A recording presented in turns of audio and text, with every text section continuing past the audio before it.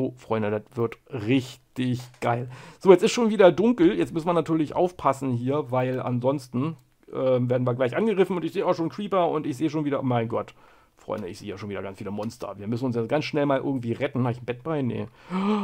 Freunde, nein, die zerfetzen uns doch alles, aber hier können sie gerne zerfetzen. Das machen wir. Also, Freunde, so viel erstmal zu der Geschichte, die wir jetzt hier gemacht haben. Ihr habt jetzt eine Vorstellung und jetzt kommen wir zu der Bauplanung, weil da müssen wir jetzt auch ein bisschen was machen. Warte mal, erstmal gehe ich mal kurz irgendwie hier mal so außen rum, weil ich will nicht, dass die uns hier unsere schönen Sachen kaputt machen. Deswegen versuche ich mich mal jetzt hier irgendwie so, ich habe leider kein Bett bei, dass ich mich mal hier irgendwie so in Sicherheit bringe. Irgendwie mal zu unserem Bett retten tue. Hier mal kurz noch was essen. Sicher ist sicher. Und genau, so, ah, so, mal kurz die Klinge in der Hand nehmen. So, und jetzt mal versuchen, dass wir uns hier mal so sicher, einigermaßen sicher. Was ist da? Das sind Skelette. Okay, die sind mir egal. Bisschen Rüstung haben wir ja um. Und hier ist auch schon der Weg. Das ist gut. Ich habe nur ein bisschen Schiss vor Creepern. Der Rest interessiert mich eigentlich nicht. Ja, bei Creeper ist immer so uh, unangenehm, machen kaputt. Bauaufsichtsbehörde. Ja, geil, Freunde, was sagt ihr? Schreibt's in die Kommentare. Ist es nicht mega fett? Also, das ist doch mal richtig cool. Wir haben auf jeden Fall jetzt so wirklich Zeit gespart. Ne? Also, wir haben wirklich so einiges an Zeit dazu gewonnen, die wir verplempert haben mit Sand holen, mit Terraforming, mit Abholzen, wieder Sand holen, schmelzen und, und, und. Da haben wir ja wirklich viel, viel rumgedaddelt. Und jetzt haben wir das wirklich so einigermaßen in den Griff bekommen, so dass wir wieder ein bisschen Zeit eingespart haben. Ne? Finde ich auf jeden Fall cool. Und ja, so kann das gerne weitergehen. So, jetzt gucke ich mal kurz, wie sieht die Rüstung aus? Die sieht gut aus. Ich sehe schon, ich habe Goldschuhe hier drin und ich habe hier so ein paar alte Steinspitzhacken, die können wir gleich noch abnudeln. Ich habe Fackeln, ich habe ein bisschen Essen und das bedeutet, was machen wir? Wir gehen natürlich in den Nether, weil wir machen jetzt Bauplanung. So, jetzt will ich nochmal ganz kurz, nochmal kurz hier schauen. Nicht, dass ich hier aus Versehen das Bild noch drin habe. Nee, das habe ich nicht drin. Das ist gut.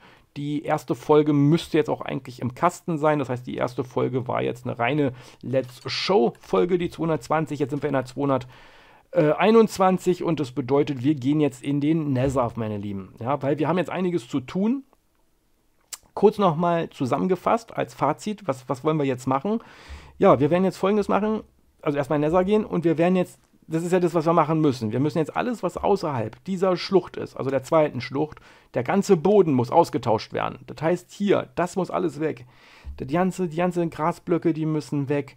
Wir müssen überall Netherrack machen, Basalt machen, Cobblestone machen, Deep Slate machen und das Ganze möglichst düster. Wir brauchen viel Lava, wir brauchen viel Lava, wir brauchen viel dunkles Holz, Blackstone. Also wir haben eine richtige, da Freunde, das wird Monate dauern, bis wir das hier alles gemacht haben. Klar, mit World Edit ist das Ganze in 15 Minuten erledigt. Aber so haben wir wirklich richtig krass. Wir müssen das alles austauschen. Wir müssen Höhlen machen, wir müssen Fright Zone abstecken. Also komm, komm, lange Rede, kurzer Sinn wir machen richtig Workflow jetzt, wir gehen jetzt hier mal so richtig rein in die Materie und boah, und jetzt rumpeln wir mal los hier, ne?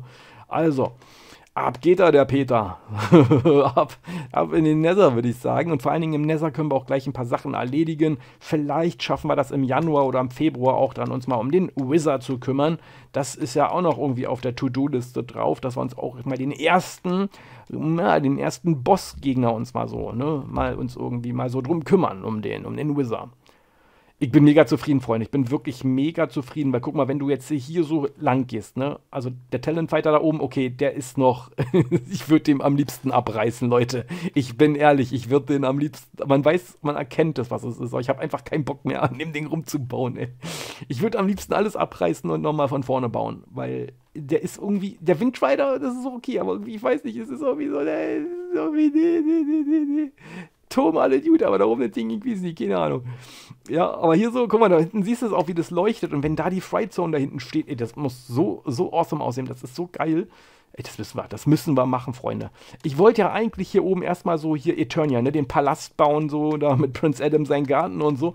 Aber ich bin jetzt so auf Horde, ich bin wirklich richtig auf Horde jetzt, ja, dass ich gesagt habe, nee, komm, das müssen wir jetzt machen. Also da gibt es gar keinen anderen Weg. Wir müssen das jetzt machen.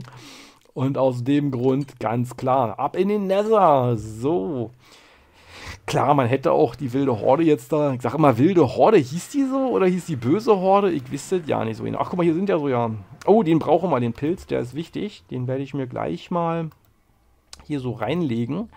So, und Schuhe haben wir sogar zweimal, sehe ich. Gut, dann tausche ich die mal aus, dass die uns in Ruhe lassen und nicht angreifen.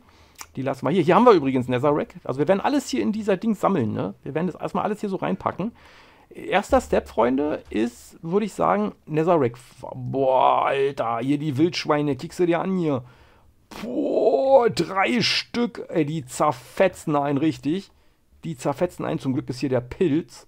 Ich werde den mal in die Hand nehmen. Die haben nämlich Angst vor dem Pilz. Und, ähm, wow, also da ist er mal richtig hier. So, ich hoffe, die lassen uns alle in Ruhe. Der Baum ist immer noch nicht gewachsen.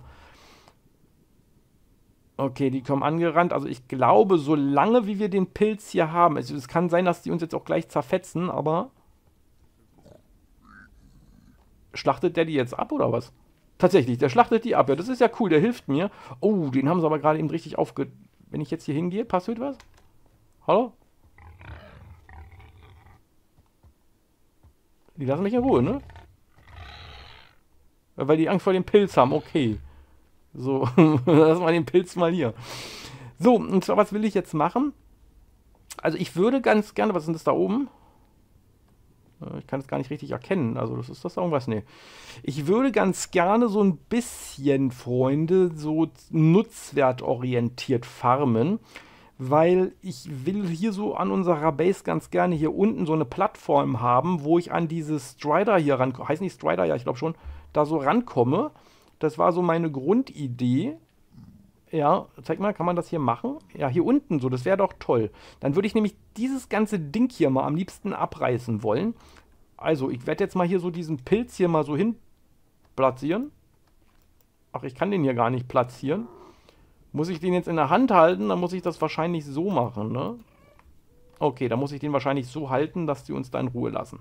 Also, versuchen wir mal unser Glück und hoffen, dass die uns nicht angreifen. Der dürfte uns nichts tun. Und ähm, ich werde jetzt hier erstmal Netherrack farmen, ne? weil den brauchen wir ja auf jeden Fall. Oh, oh, oh. ja, geht gut los, ne? das geht ja schon gut los. Warum ist denn da Lava drin? Ja, das, das ist ja, das ist ja traumhaft. Ist da noch mehr Lava drin? Tatsächlich. Also ich würde sagen, wir gehen mal woanders hin. Das ist ein bisschen blöd da. Oder wir gehen von oben vielleicht. Komm, wir versuchen es mal von oben. Wie sieht es hier aus? Okay, hier geht es gut aus. Das sieht auch gut aus. So, dann versuchen wir mal hier oben. Vielleicht haben wir. Jetzt habe ich da erstmal voll den Lavasee gemacht. Das tut mir ja voll leid, Alter. Das ist, das ist, so, ich hoffe mal nicht. Ich werde das mal so machen, dass wir das mal irgendwie vielleicht schließen können. Ich werde die Lava mal versuchen zu schließen. Also hier sieht es ja gut aus. So. Ja, okay. Hier sieht auch noch gut aus. Mal gucken, wo die herkommt. Die kommt von da. Ich habe auch leider keine... Ähm, kann man das hier nicht? Ah ja, so. Jetzt müsste die eigentlich weggehen. Perfekt.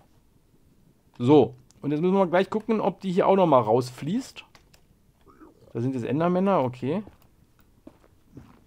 Werden wir gleich sehen, ob die hier auch rausfließt. Die fließt hier nämlich im Nether, falls ihr das noch nicht wisst, die fließt hier ein bisschen schneller als an der Oberwelt. Ne? So in der Hölle ist die wirklich ein bisschen, ja, suboptimaler. Deswegen immer schön Abstand halten. Und aufpassen, dass einen keiner in die Lava reinschubst, weil die halt doch ein bisschen schneller fließen tut. So, das sieht aber gut aus hier. Und jetzt werden wir hier wirklich so einen Tunnel bauen. Einfach, einfach, boah, schon wieder erschrocken. Ich glaube, Gold dürfen wir nicht abbauen, ne? Oder nee, Gold kann ich sowieso nicht abbauen, weil ich habe nur eine Steinspitzhacke. Ich wollte erstmal die Steinspitzhacken verbrauchen. Die habe ich nämlich mitgenommen, als ich da unterwegs war, bei meiner Bootstour. Ach, guck mal, das geht ja doch recht, recht weit. Also, das ist doch eine ganze Menge hier, was wir haben. Sehe ich so gerade. Oh, oh. Da schon wieder... Oh, da schon wieder die nächste Lava. Wo geht die denn hin? Oh, die geht aber ziemlich tief hier. Okay. Oh. Oh. Hey. Hey, lass mal doch. Nee, lassen wir mal, ne? Ich würde sagen, die lassen wir mal schön in Ruhe da. Die gefällt uns nicht. Die lassen wir mal so. Sieht cool aus, kann man vielleicht ein bisschen Glas hinmachen oder so. Wir kümmern. die da hinten gucken schon so, was ich mit, dem, mit ihrem Gold mache hier. Die Leprechaun, so. genau. Nee, also. Oh, oh, nee. Nee, nee, nee, nee, nee, nee, nee, nee, nee, woanders hin, woanders hin, hier hin. Oh, Freunde, genau das meine ich nämlich. Genau das meine ich. Und wenn du hier keine äh, Feuerschutz drin hast, kann das ganz schnell böse ausgehen. Vor allen Dingen hier, guck mal, die haben mich blockiert. So, aber das überleben wir. Ich brenne, ich brenne, ich brenne, ich bin Feuer und Flamme, Freunde. Boah, so. Also ihr seht, das ist sehr, sehr gefährlich im Nether. Das ist so wirklich, wenn man da, bin schon fast am überlegen, ob wir uns die Rüstung holen mit Feuerschutz. Da haben wir ein bisschen mehr Ruhe. so. so, aber ist nicht schlimm. Komm, das kriegen wir in den Griff hier. Ich mache hier wieder zu. So, dann ist das schon mal weg. Ähm, hier machen wir zu. Da machen wir mal kurz zu. So, dann können wir uns hier nicht bewegen. Und hier machen wir auch zu. Ich glaube, das kam da aus der Richtung raus. Ja, so. Dann müssen wir jetzt ein bisschen vorsichtig sein mit dem, was wir tun. Schau mal, ob hier oben, das können wir auch noch mal kurz kontrollieren, aber nee, da ist nichts. Da ist nichts. Okay, dann können wir den wegnehmen. Und manchmal ist es sinnvoll, hier dann so zu machen. Okay, die ist kaputt. Ja, ich glaube, der kann weg. Ja, der kann wieder weg. So, aber hier sieht ja, es ist erstmal soweit safe hier. Also hier dürfte jetzt eigentlich keine Lava sein. Eigentlich. Ne? So, wie viel nehmen wir denn mit? Also wir brauchen wirklich eine ganze Menge. Wir müssen da die ganze Grasblöcke da im Prinzip, ähm, hallo, die müssen wir im Prinzip ähm, abbauen, also austauschen. Also da haben wir wirklich ein bisschen Programm. So, können wir hier tiefer gehen? Das ist die nächste Frage, die ich hätte. Ich versuch's mal. Ja, das sieht noch gut aus. Das sieht gut aus. Okay. Versuchen wir mal hier so ein bisschen tiefer zu gehen. Mein Gott, macht mich da nicht so nervös. Ja, was ist denn sonst noch so passiert, Fröhliches? Ja, was habe ich denn jetzt in Tage gemacht? Ja, Freunde, ich war fleißig am Arbeiten. Und, ähm, ja, also da war ich wirklich wieder richtig fleißig gewesen natürlich, ne, ist ja klar. Und deswegen hatte ich natürlich jetzt nicht so viel Zeit für Minecraft. Also sowas Adventskalender auf Upsala. Und auch hier haben wir ein kleines Problem. Au! Was war denn das? Nein, wir sterben, wir sterben, wir sterben. Oh. Wir sterben, wir sterben. Aber ist nicht so schlimm, weil hier sind wir safe. Okay, wir sind gestorben, aber ist nicht so schlimm, weil äh, ich hatte wieder was. was ist denn da passiert? Ist da was explodiert? An was bin ich denn jetzt gestorben eigentlich? An, an einem Creeper oder was? Das hat doch so geknallt, oder? Was war denn da jetzt los? Habe ich jetzt gar nicht mitbekommen, was da los war. Freunde, wir gehen jetzt mal kurz in den Nether, holen unser Stuff und danach gehen wir nochmal zurück und ich hole mir jetzt eine Feuerresistenz.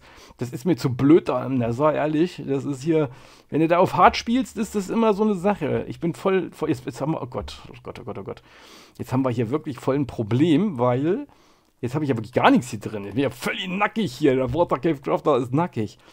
Wer, der wievielte Tod ist denn das? Der zweite, glaube ich, ne? Das ist der erste. Ne, der zweite.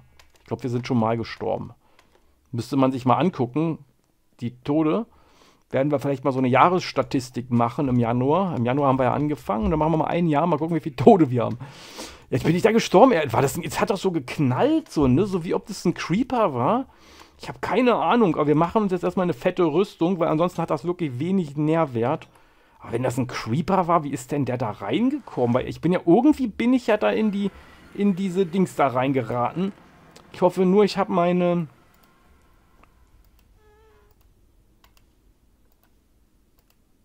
Warte mal ganz kurz. Die müssen wir uns anziehen, ansonsten haben wir jetzt gleich ein Problem. Dann kommen wir nicht mal zu unserem Stuff. So, die sind weg, okay.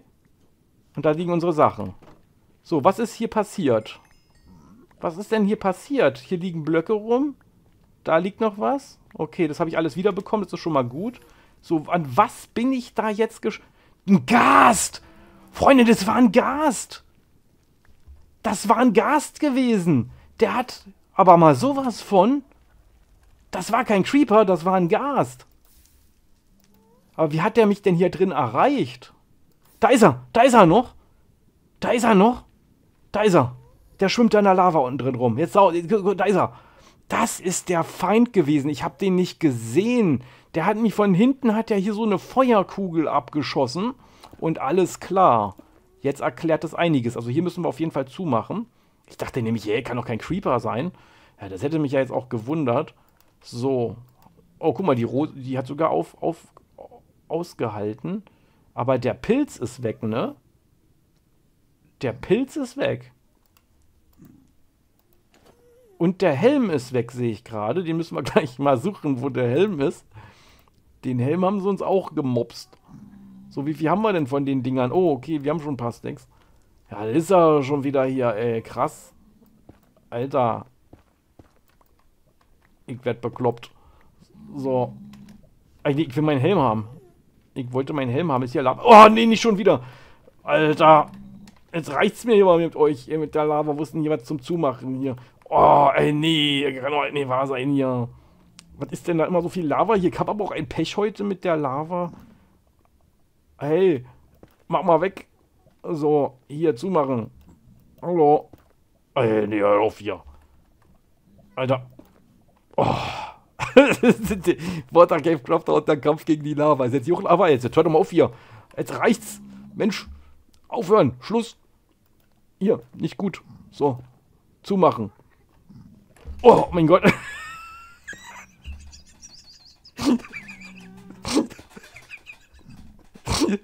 hey, Carsten, Lava, was ist denn hier? Hallo? So, weg da mit dir. So, ich hole mir jetzt Feuerschutz, Freunde. Es ist mir scheißegal, wir holen jetzt Feuerschutz. Da bin ich halt eine Pussy, aber ich hole mir jetzt... Da oben ist er, ey. Ey, der zerbombt uns. Ich brauche ein Bier, ey. Ich habe kein Bier, ey. Scheiße. Gut, der Helm ist weg und mein Pilz ist weg, weil den Pilz, den brauche ich ja, wenn ich mich vor diesen Wildschweinen da verteidigen will. Sag mal, warum ist denn der Nether so schwer geworden, ey? Das gibt's doch gar nicht. Doch, bei Roller. So. Ist hier mein... Durch Zufall ist hier noch mein... Mein... Mein... Da oben ist der Pilz. Geil. So, jetzt brauche ich nur noch mal... Hier, oh, hier ist auch noch was. So, wie sieht's denn aus mit meinem Helm? Wo ist mein Helm? Mein Helm ist kaputt gegangen. Ich glaube, mein Helm ist kaputt. Der Helm ist kaputt. Da habe ich was auf den Helm gekriegt. Der ist weg. So. Boah, das ist eine Action hier. So viel Action hatten wir schon lange nicht. Ich meine Fresse, nee. So, gut. Also, erstmal zurück. Okay, wir haben unseren Stuff wieder. Das war eh nicht so teuer. Also davon mal abgesehen. So, das lassen wir gleich mal hier. Das muss ich gar nicht jedes Mal wieder neu mitschleppen hier. Das ist ja wirklich furchtbar. Deswegen lasse ich das jetzt gleich mal hier. Den Pilz lasse ich auch hier. Mm, das nehmen wir jetzt mal sofort mit. Da reicht mir ein Stack. Äh, das lassen wir hier. Mm, das lassen wir auch hier. So, gut. Und jetzt erstmal zurück. Da werden wir uns jetzt eine Truhe bauen, da packen wir jetzt sowieso alles rein. Und dann holen wir uns jetzt erstmal Feuerresistenz, dass wir da erstmal so, ja, unsere Ruhe haben. Ich bin fast am überlegen, ob wir für Nether uns wirklich eine, ich guck mal, wie viele Dias wir haben, ob sich wirklich eine Dia-Rüstung lohnt. Das Problem ist nämlich, was wir jetzt haben, wir haben natürlich keine Level zum Verzaubern. Ne? Es wäre natürlich schön, Level 30, dann müsste man aber erst wieder Spinnenfarmen gehen, um da wieder irgendwie Levels hochzuleveln. Wäre das eine Option? Bin ich fast am überlegen, Freunde, ob das eine gute Idee ist. Ist das eine gute Idee oder eine schlechte Idee? Ja, hm. Wir können natürlich auch sofort anfangen zu bauen. Wäre mir viel, viel lieber, wenn wir sofort anfangen zu bauen. Dann würde ich jetzt nämlich schön hier erstmal schon mal austauschen. Weißt du was, das mache ich auch. Komm, wir testen das mal, wie das aussieht. Das habe ich hier gerade. Ich habe gerade so schön viele Stacks hierbei von den von dem coolen Netherrack hier. Komm, wir gucken mal, wie das aussieht. Einfach mal so, weil wir es können. Ja. So, wo fangen wir an? Neben Motolox einer Höhle? Nee, wir machen das hier hinten. Hui. So, also die Fright Zone, beziehungsweise der gesamte District, der soll ja hier irgendwie so anfangen. Also so in dieser Linie hier so, ne? Da kommen übrigens Steinstelzen hin, die müssen wir auch noch bauen. Also ich würde mal so vorschlagen, den, den lassen wir mal hier so stehen. Hier machen wir so Basalt, also wir tauschen das einfach mal so aus. So, jetzt werden wir das mal hier so nehmen. Moment, hier, so, so. Und dann tauschen wir das mal hier schon mal so ein bisschen aus. So, jetzt werden wir das mal hier so mal wegnehmen. So. Mal so hier so genau. Und dann machen wir mal erstmal so einen Rand. Und dann gucken wir mal, wie das aussieht. Ne? Und später müssen wir das auch wieder austauschen, weil dann kommt da noch Basalt hin und noch ein bisschen anderes Zeug so. Ne? Da müssen wir mal gucken, wie wir das bauen, dass es so ein bisschen nach Hölle aussieht. So, machen wir mal hier schön wegnehmen.